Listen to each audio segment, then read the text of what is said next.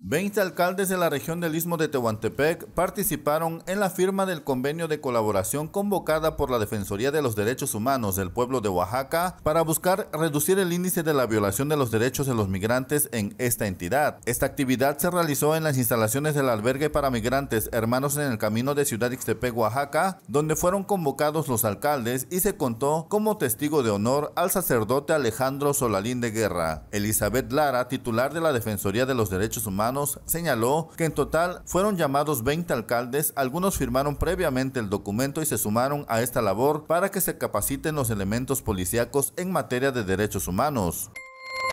En materia de capacitación de derechos humanos con todos los presidentes municipales de la ruta migratoria. La Defensoría de los Derechos Humanos eh, firma este convenio ahora mismo con algunos presidentes que tienen el interés, obviamente, en la materia de derechos humanos. Informó que uno de los motivos que la llevó a estar en constante defensa de los migrantes es por empatía, ya que estas personas en movilidad desconocen sus derechos en el territorio mexicano. Además, indicó que mucha gente abusa de esta población migrante, ya que aumentan los costos de los precios o los servicios, incluso hasta triplican los precios. Con imágenes de Andrés Viramontes, reportó para Mega Noticias José Luis López.